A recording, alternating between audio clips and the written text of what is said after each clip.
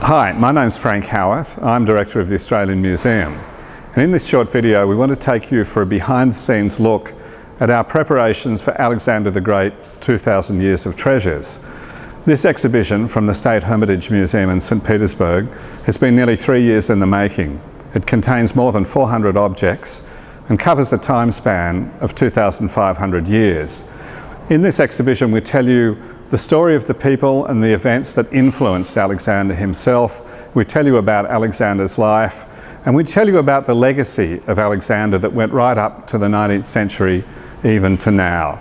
Enjoy. When I first saw the Gonzaga cameo, uh, the double portrait of Ptolemy II Philadelphus and Arsinoe II, it was on display in Amsterdam. I was truly gobsmacked by its size. I'd always imagined this very famous cameo to be the size of a normal cameo, about that size. However, it's about 10 times that size, so it's something like that.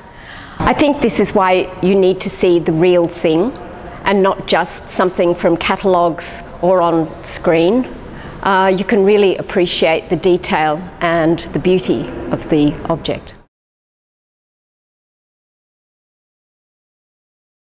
As the exhibition designer, the greatest challenge for me is to work out a layout for the show, the physically placing of the, of the showcases and walls and these kind of things, as a, to create a space that's engaging to a visitor and to allow the narrative of the show to slowly unfold as they progress through the gallery. To me, Alexander is particularly interesting because he occupies a place between mythology and history.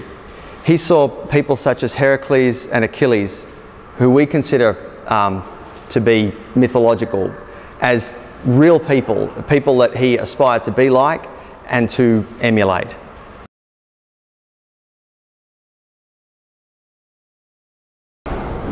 Alexander the Great was an amazing man.